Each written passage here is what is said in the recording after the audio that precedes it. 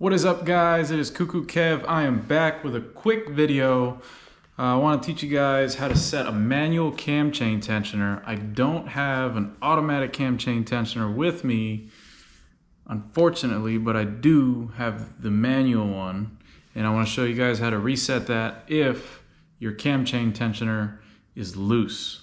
And usually you can tell that um, when you're decelerating your motor or you're revving it and you hear more of a rattle, uh, like a, like a chattering sound. So fortunately, I have an open motor with me and I have a closed motor, my bike, both with uh, manual cam chain tensioners.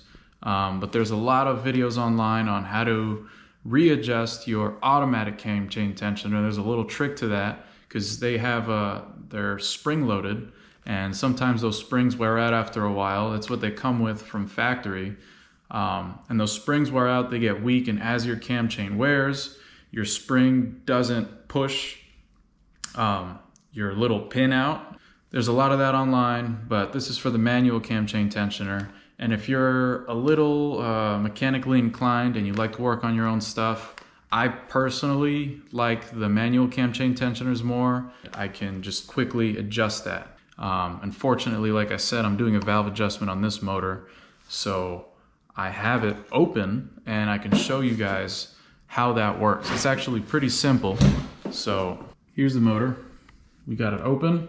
Back here, this is where your, your cam chain tensioner is gonna sit.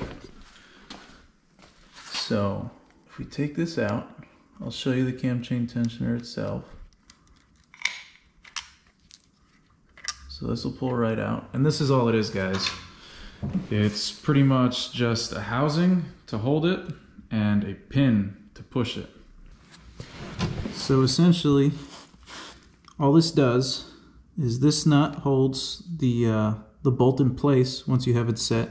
And all this does is when it unthreads, it pushes that pin out or pushes that bolt out. And when you tighten it up, pushes that bolt in. And all that's going to do, if we look over here, all that's going to do is this ride right there. Hope you can see that well. This ride sits right up against this cam chain on this end of the motor like that. See it moving in there? So when everything's tight, this is to sit there and this tensioner comes from the back of the motor and pushes on it. Now you see right inside, you can see right where that sits. See that? And when you tighten it up, all that does is push on that little cam guide down here. Pushes it back and forth so it puts more tension on the chain. Now in this chain stretches out a little bit due to wear. Um, the automatic cam chain tensioners automatically are supposed to tighten. Now they fail very often, so people get these and they just do it themselves. I started putting this motor back together, so I'm gonna show you what it actually looks like on the inside while you're tightening the cam chain tensioner. So,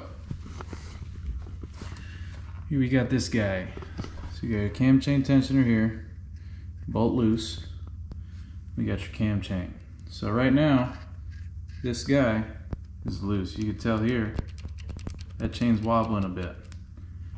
So we're gonna go ahead and tighten it until we start to feel uh, a little bit of pressure on the bolt, right? I feel it there. I'm gonna back off about an eighth of a turn. And now we're tighter. Now let's say I tighten it too much, it's tight, very tight. So what I like to do when it's on the bike, I start to turn the tensioner in. As soon as I feel that pressure, I go about a half turn and then back off about an eighth. And that should be it. That's all you gotta do. Perfect tension.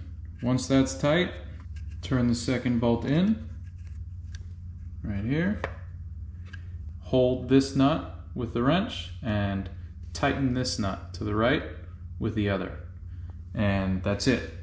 Your cam chain tension is set. You should be able to crank your bike right up, and if the cam chain tensioner was the problem or the cam chain was loose, then your sound will go away. So it's that simple, guys. And if you get on it, whenever you start hearing the sound, it's gonna save you a lot of headaches in the future. Don't let this problem go on, because uh, let's say uh, you let this problem persist and your cam chain skips a tooth. And by that, I mean if this chain skips a tooth on this sprocket, it throws your timing out of timing. Um, and it could lead to catastrophic failure, um, like your motor literally blowing itself up. If you hear that sound, do yourself a favor, take care of it. Uh, the cam, the manual cam chain tensioners are like 50 bucks. They're nothing special. Um, they bolt right on to with the same bolts as the the stock automatic cam chain tensioner, and if they don't, they usually come with the right size bolts. So go ahead, do yourself the favor, and just get that taken care of. It's super simple. It probably takes 15, 20 minutes, even less if you know what you're doing. So uh, thank you guys for watching again. This is CooCoo Kev, and I am out.